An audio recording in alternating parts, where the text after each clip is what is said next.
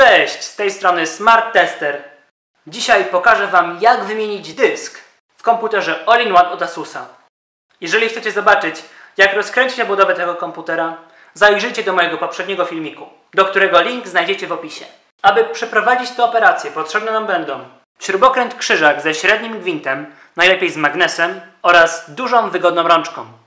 Zatem bierzmy się do roboty. Aby wymienić dysk twardy musimy odkręcić te trzy śruby.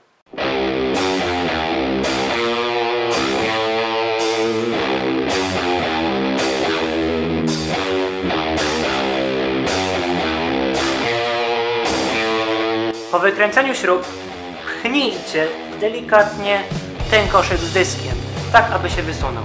Teraz możecie go bezpiecznie wyjąć, jednak uważajcie na to, żeby nie zerwać żadnych kabli, które znajdują się w okolicy. Jak widzicie, dysk przymocowany jest czterema śrubkami, które teraz wykręcimy.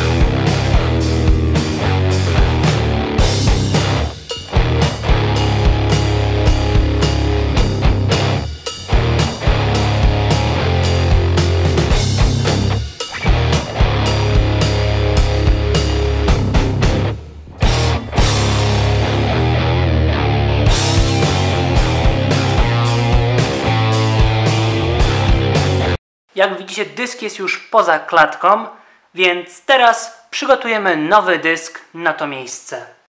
W moim przypadku jest to 250 GB Samsung 850 EVO. Można by rzec, że stał się to już pewną tradycją, że montuję te dyski. Ale są one naprawdę bardzo dobre. Mają 5-letnią gwarancję, całkiem dobrą wydajność i są oferowane w bardzo atrakcyjnej cenie.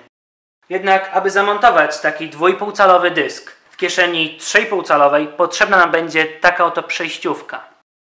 W moim przypadku niestety producent tej przejściówki zrobił zbyt małe otwory montażowe, przez to przed chwilą musiałem je rozpiłować. Ten i ten oto otwór, które będą trzymały dysk w klatce. Istotne jest również to, że nie dołączono tych czterech śrub montażowych, które są oczywiście niezbędne do tego, aby umieścić tutaj 2,5 calowy dysk. Dlatego też na Waszym miejscu, kupując coś takiego, zaopatrzyłbym się również od razu w dodatkowe śrubki. Zatem teraz nie pozostaje nam nic innego, jak przykręcić dysk do adaptera. Zwróćcie uwagę jednak, w jaki sposób go przykręcacie. Musicie zrobić to tak, aby złącze SATA i złącze zasilające pokrywały się z tymi złączami dostępnymi na płycie głównej. Dlatego też przekręcimy go w dokładnie taki sposób.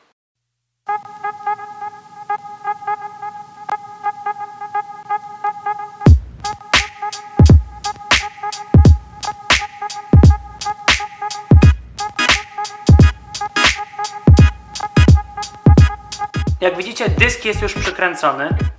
Następnym krokiem jest umieszczenie go i przekręcenie w klatce na dysk.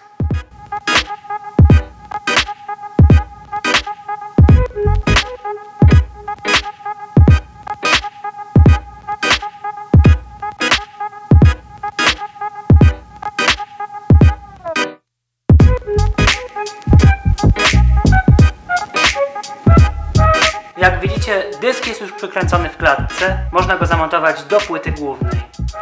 Ostatnim etapem jest po prostu domknięcie tego na miejscu i przykręcenie wszystkich śrubek.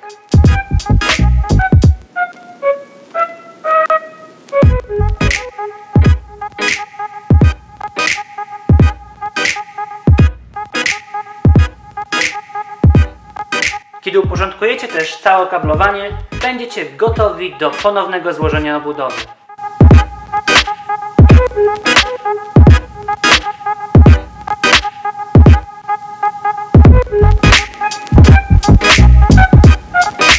Brawo!